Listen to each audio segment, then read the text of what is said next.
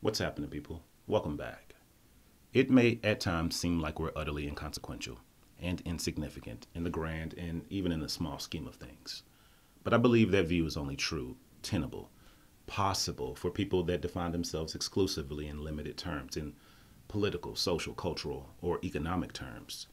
If we think broader and deeper, especially physically, and think about forces that travel at the speed of light like electromagnetism and gravity, by the time we're two years old, we have technically, factually, and actually impacted the entirety of our solar system, whether we want to or not, whether we are aware of that or not. Quite literally, from the time we separate from our mothers to the time our bodies decompose, a sphere of gravitational and electromagnetic influence emanates from us at the speed of light, affecting everything in its path to a non zero effect to a non zero degree.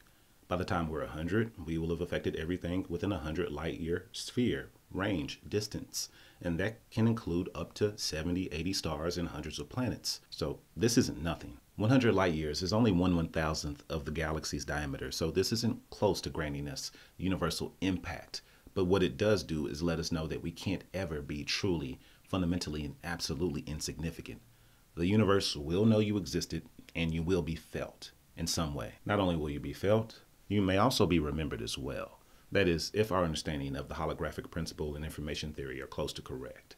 If they are, then every state that you call your life, everything you've ever felt, known, thought, seen, and done, and everything else that's ever happened in this universe down to the quantum level will be permanently recorded on the two dimensional boundary of this three dimensional sphere or three in hypersphere if we believe in higher dimensional topologies. A mathematical boundary at infinity turns out not to just be useful for doing calculations in physics, but maybe as real as the physical universe it contains. It may encode that universe as a hologram on its surface. Let's unpack that. Stack a bunch of Poincare disks, each representing an instant in time. They give you a cylinder with two spatial and one temporal dimensions. Let's call that 2 plus 1 dimensions. Here's the crazy thing. Every point on that flat surface maps to a set of paths through the hyperbolic interior. Remember those circle arcs? Patterns on the surface define the structure of the interior. The hologram part is because the lower dimensional space can be thought of as an infinitely distant boundary of the higher dimensional space. Every particle, every gravitational effect in the bulk is represented by quantum fields on an infinitely distant surface. So, despite how we may at times feel and think about our political, social, cultural, and economic self, a more true self in terms of consistency over time. The physical self can never be absolutely insignificant. In fact, we are perfectly equivalently significant with anyone that's the same age and same mass as us, in these terms anyway.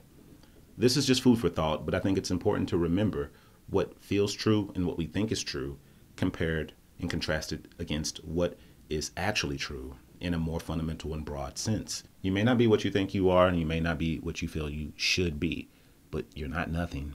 You never could be, and you never will be. But that is my opinion. Let me know what you think in the comments section below, especially if you have any questions or anything to further this video or add.